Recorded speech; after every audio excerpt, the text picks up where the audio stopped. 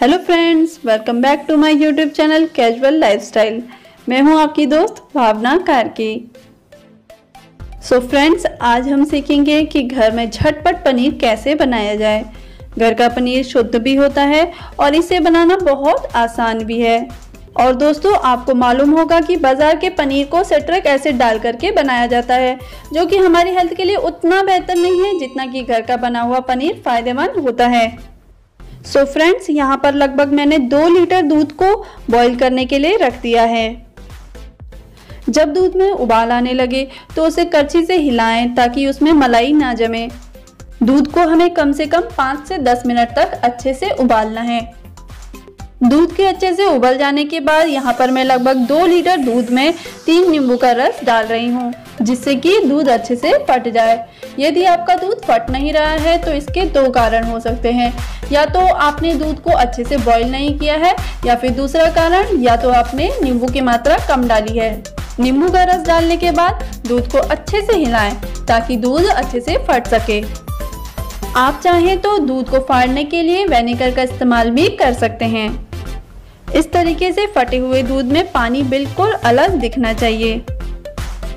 दूध को अच्छे से चलाते रहें। आप देखेंगे कि दूध से पनीर बिल्कुल अलग हो चुका है।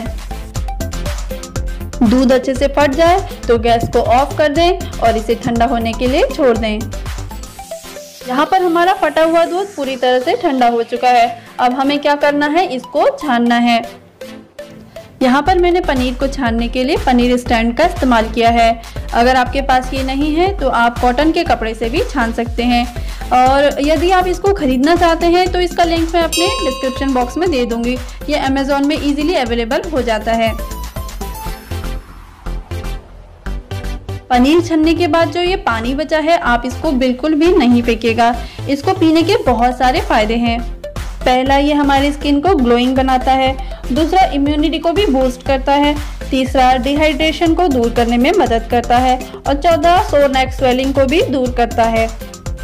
आप इसे ठंडा करके, शक्कर या गुड़ डाल करके पी सकते हैं। ये पीने में भी टेस्टी लगता है। अब हम इस बचे हुए खोए को ठंडे पानी से वॉश करेंगे ताकि इसमें मौजूद जो नींबू की खटास है, वो चली जाए।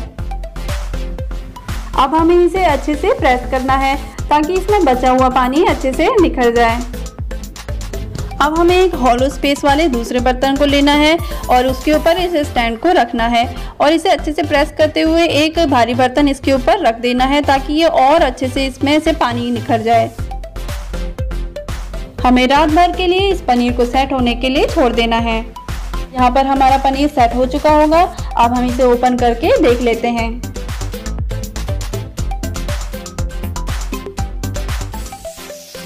हमारा पनीर काफ़ी स्पंजी बना है। अब हम इसे मनचाही शेप में कट कर लेंगे। सो so, हमारा पनीर बन करके रेडी है। सो so, फ्रेंड्स देखा आपने पनीर बनाना कितना इजी है। अगली बारी आप भी घर में पनीर ज़रूर बना के देखिएगा। इस पनीर से आप मनचाही डिशेस बना सकते हैं। फ्रेंड्स अगर वीडियो पसंद आई तो please like comment and share करें। और मेरे चैनल को सब्सक्राइब नहीं किया है तो अभी सब्सक्राइब कर लें। सो so फ्रेंड्स मिलते हैं अगली वीडियो में, फिर कुछ नया लेकर। तब तक के लिए बाय टेक केयर